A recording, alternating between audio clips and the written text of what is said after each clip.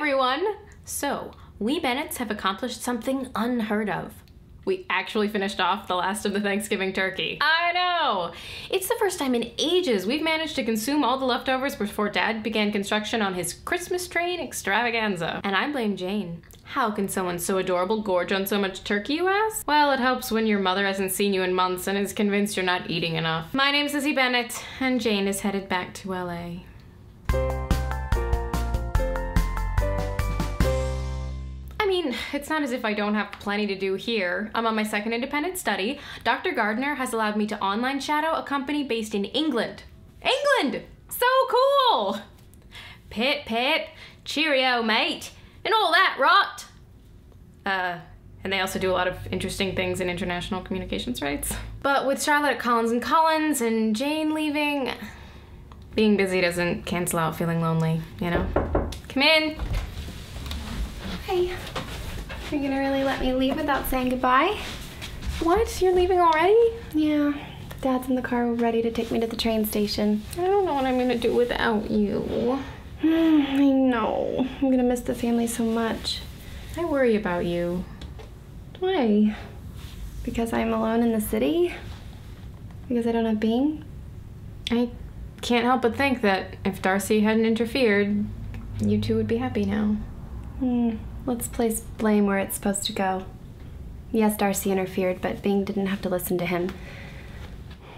Ladies and gentlemen, I present to you New Jane. But part of the reason you went to LA was to talk to Bing. Aren't you a little unhappy it didn't work out? Life happens. Yes. Yes, I'm sad it didn't work out. Yes, I miss him. But being in LA has taught me a lot of things. I'm a lot stronger than I thought I was. And I'm really happy that I live there. You are? Yeah. I'm in a new city. I have a job that I love with people that are really cool and interested in cool things. I don't need one failed relationship to define me. You know, New Jane sounds really kick ass. New Jane so is. That's because she's having fun in her new life. Not the kind of fun we have around here. Mom's cranberry green bean gelatin, Lydia's latest schemes. Lizzie, what are you going to do when you're done with your master's? Where are you going to go? I don't know. It might take some time to figure that out. I see. You're worried about me being away in the city, but I'm really worried about you being afraid to leave home. Uh, I was just gone for two months. Visiting Charlotte isn't the same as leaving.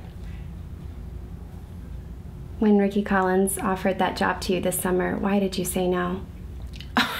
because it was terrible? Because I want to finish my degree? Because going off to do a job I would hate in a new scary place would make me miserable. Uh huh. See, you said scary. Can't a little part of you admit that a little part of the reason you said no is because you're scared? Fine.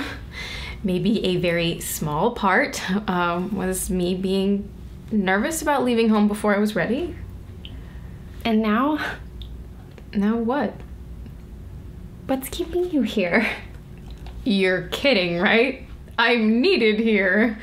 Mom needs someone to unleash her crazy on, and Lydia needs the occasional reality check, and Dad needs help setting up his model trains. There's a lot of tiny trees and figurines. Let Dad handle some of Mom's crazy. It's part of his job. I'm sure it was written in his vows. And Lydia, she's fine. She's an adult. Maybe it's time for you to make a change. I just want you to think about it. New Jane asks tough questions.